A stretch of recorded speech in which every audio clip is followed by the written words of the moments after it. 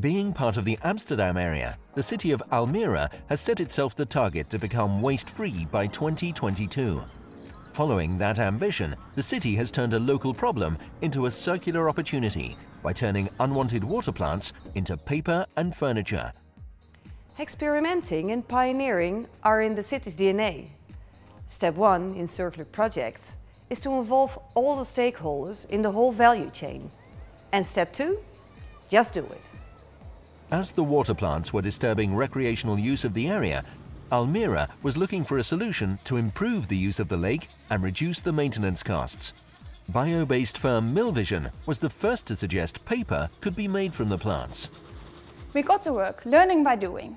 We dry and shred the water plants and with these plants we make besides paper also a biocomposite for furniture.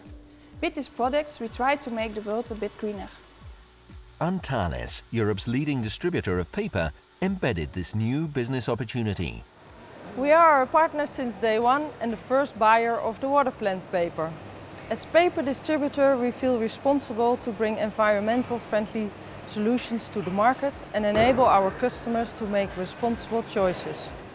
As Almere hosts the World Horticultural Expo Floriade in 2022, the city is developing a new and lasting 60-acre expo site near the lake, which will be founded on the principles of the circular economy. The water plant project has encouraged us to work on 20 other circular projects involving 40 project partners with a joint investment of 20 million euros. And I'm pretty sure there's more to come.